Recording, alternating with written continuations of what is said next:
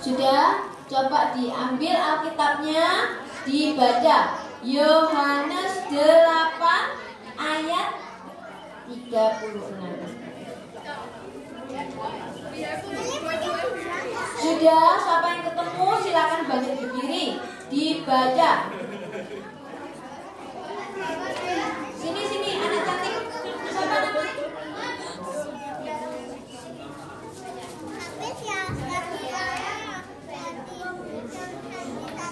Yohanes 8 ayat 36. Jadi apabila anak itu memerdekakan kamu, kamu pun benar-benar merdeka. Jadi apabila anak itu memerdekakan kamu, kamu pun benar-benar merdeka. Jadi kalau apa? Anak itu, anak itu siapa ya? Tuhan Yesus Tuhan Yesus, Tuhan Yesus sudah memerdekakan anak-anak sini dulu. Maka kita benar-benar merdeka. Tapi kalau kemerdekaan itu tidak dijaga, bisa hi- hilang. Bisa diikat lagi sama dosa. Sebab itu anak-anak mau menjaga kemerdekaan itu. Mau anak-anak? Mau.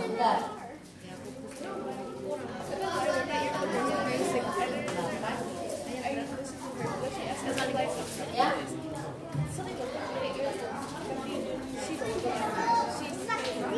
Nah, ya, ini loh Tuhan Yesus sudah mau mati di salib untuk menebus dosa kita supaya anak-anak itu merdeka, tidak diikat dosa lagi. Ya, next. Nah, supaya tidak diikat sama dosa lagi. Makanya Tuhan Yesus mau mati di kayu salib untuk menebus dosa-dosa ki- kita. Senang nggak punya Tuhan Yesus? Senang nggak punya Tuhan Yesus? Nah, ini loh. Masih mau diikat dosa ini? Oh, ini Tante Dewi sudah bacakan, sudah apa tuliskan. Ayo sama-sama ya. Tadi kan teman kita sendiri yang baca. Sekarang sama-sama yang keras ya. Kelompok sini atau kelompok sini yang paling keras suaranya. Satu, dua, tiga. Yohanes 8 Apabila anak itu memerdekakan kamu, kamu pun benar-benar merdeka. Siapa yang bisa hafalin ya? Jangan dulu, kasih kesempatan yang lain. Ven,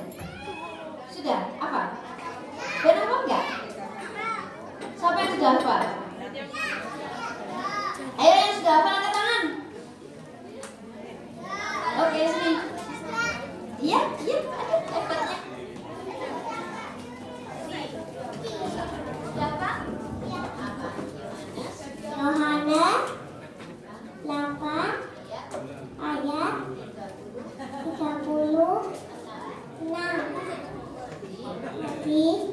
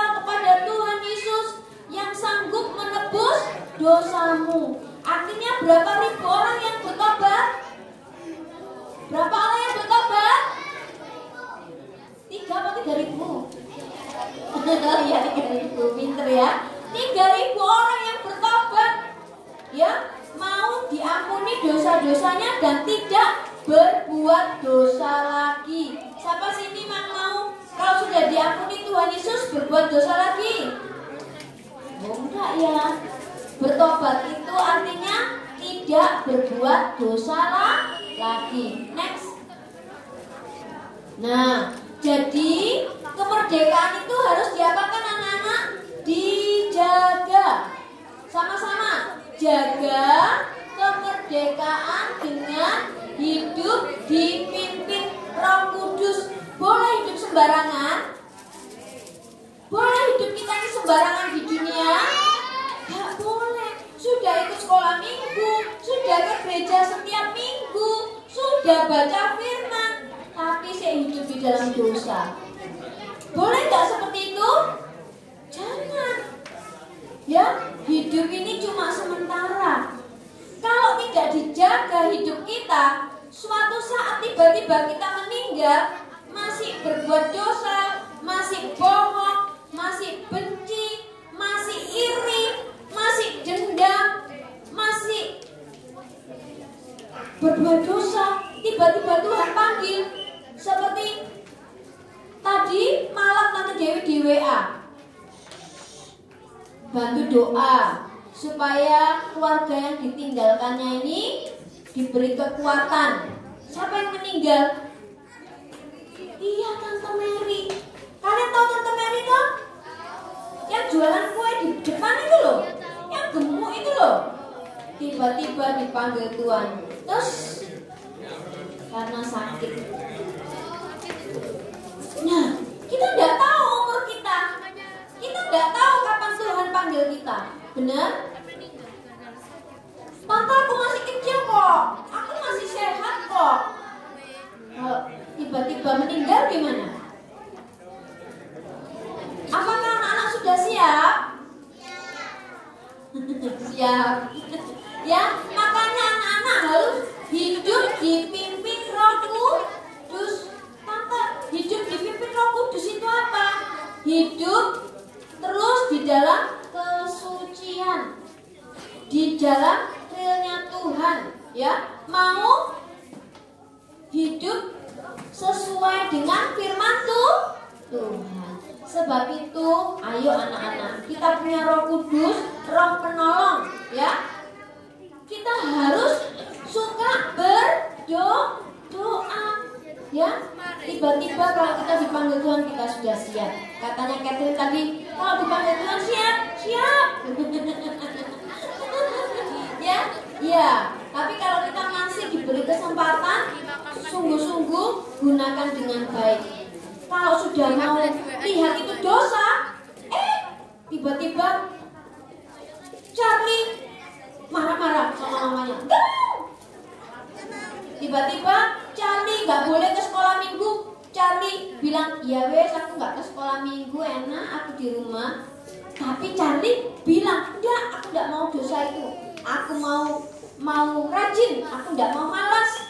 Aku mau rajin ke sekolah minggu. Wah, oh iblisnya lari, iblisnya lari, nggak jadi diikat. ya, nggak jadi diikat sama dosa lagi. Hmm, ya. Jadi anak-anak kita harus menjaga kemerdekaan kita. Mau anak-anak jaga? Mau anak-anak isi hidup dengan dipimpin Roh Kudus? Mau isi dengan suka berdoa? Suka ke sekolah minggu? Suka pukul-pukul? Eh. Suka bantah orang tua? Suka marah-marah sama orang tua? So, uh, malas ke sekolah minggu? Buang semua dosa itu. Jangan mau diikat dosa lagi. Merdeka! Nah, ya. Anak-anak, kalau Tuhan Yesus sudah memerdekakan anak-anak, kita jaga dengan baik-baik. Sebab kemerdekaan itu bisa hilang kalau tidak dijaga. Mau tiba-tiba anak-anak apa namanya dibohongi sama iblis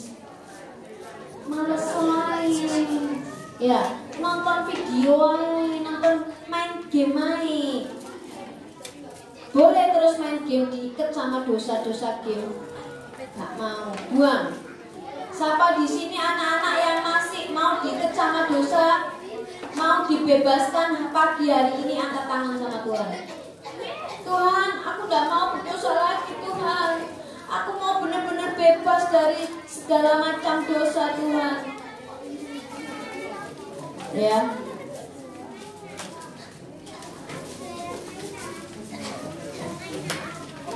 Kita berdoa sama Tuhan, ya. Kita minta pimpinan sama Tuhan. Yang masih masih dalam ikatan dosa, Tante Dewi tidak tahu siapa yang masih diikat di dalam dosa. Tante Dewi tidak ngerti. Tetapi anak-anak yang merasa masih diikat, dirantai sama dosa, silakan bangkit berdiri semuanya. Ya, ayo kita bangkit berdiri kepada Tuhan. Kita bilang sama Tuhan, Tuhan, ampuni aku. Aku tidak mau benci lagi. Aku tidak mau iri lagi. Aku tidak mau bohong lagi. Aku tidak mau dendam lagi. Aku tidak mau marah-marah lagi. Aku tidak mau mencuri lagi. Siapa yang mau didoakan? Siapa yang mau didoakan? Siapa yang mau melepaskan dosanya? Ya, semuanya tutup mata. Semua anak-anak di sini tutup mata, tidak ada yang melihat kanan kiri. Yuk, semuanya bangkit berdiri. Semuanya bangkit berdiri. Dengan sikap yang baik menghormati Tuhan tutup mata. Tidak ada yang buka mata. Haleluya Yesus. Haleluya Yesus. Haleluya Yesus. Tolong Tuhan. Tolong Tuhan belajar Tuhan menjaga kemerdekaan yang Tuhan sudah berikan kami tidak ingin Tuhan dibelenggu diikat sama dosa kami tidak mau dijajah sama dosa Tuhan Tuhan Yesus, kami tidak mau Tuhan. Masih ada dosa di dalam hidup saya Tuhan. Tuhan tolong saya Tuhan. Baik game, baik dosa-dosa yang tersembunyi, mungkin yang sudah besar-besar Tuhan, masuk di dalam dosa pornografi Tuhan. Tolong Tuhan, jangan Tuhan diikat anak-anakmu ini Tuhan. Biarlah anak-anak ini boleh belajar hidup kudus, hidup benar, terus meningkat, terus belajar terus sama seperti Kristus, hidup seperti Kristus, hidup di dalam kesucian, hidup di dalam kebenaran, hidup yang mau dipimpin oleh rohmu sendiri ya Tuhan. Kami tidak mau Tuhan hidup di dunia ini nantinya bisa di dalam api yang kekal, tetapi kami mau hidup di dalam kemuliaan yang kekal, yaitu di surga. Tuhan, ampuni segala dosa kami Tuhan. Haleluya Yesus. Haleluya Yesus. Anak-anak yang mau didoakan boleh maju ke depan, boleh berdiri di tempat sini. Yang masih masih terikat di dalam dosa, masih ada dosa yang tersembunyi, anak-anak boleh maju ke depan. Nanti minta tolong guru-gurunya mendoakan. Haleluya Yesus, haleluya. Haleluya Yesus. Boleh berdiri di sini ya. Haleluya. Yang mau didoakan supaya tidak dosa lagi boleh maju ke depan. Tuhan pimpin saya Tuhan. Tuhan tolong saya Tuhan. Siapa lagi? Siapa lagi yang mau didoakan supaya hidup menjadi anak-anak yang taat anak-anak yang cinta Tuhan? Siapa lagi? Siapa lagi? Tidak perlu didorong-dorong dari dirinya sendiri. Ayo kita. Haleluya Yesus. Semuanya yang sudah di depan tutup mata lipat tangan. Haleluya Haleluya, haleluya. Haleluya, Yesus. Haleluya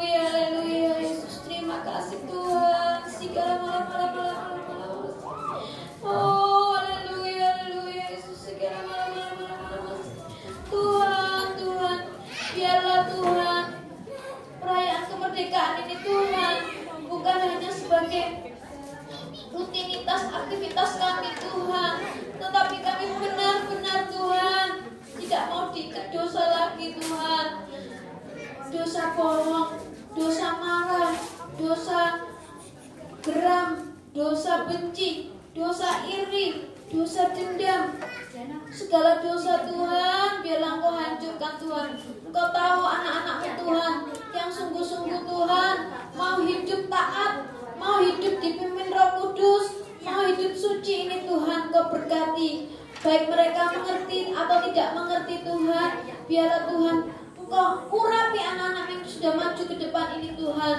Tuhan kau sempurnakan Tuhan supaya anak ini tumbuh berkembang menjadi anak-anak yang taat anak-anak yang cinta Tuhan. Oh haleluya haleluya. Haleluya haleluya Yesus haleluya. Tolong Tuhan kau tumbuhkan Tuhan anak-anak ini Tuhan. Haleluya. Nanti minta tolong Tante Vera berdoa buat anak-anak ini supaya anak-anak ini boleh Tuhan berubah hidupnya. Pulang bebas dari segala macam dan ikatan dosa. Haleluya. Terima kasih Tuhan Yesus.